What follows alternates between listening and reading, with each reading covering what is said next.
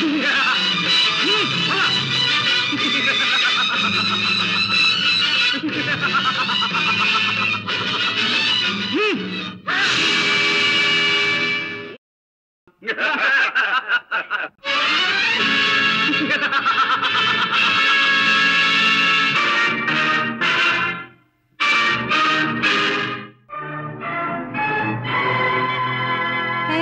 शौर्य हे प्रभु मेरा यहाँ है बांधव सिंह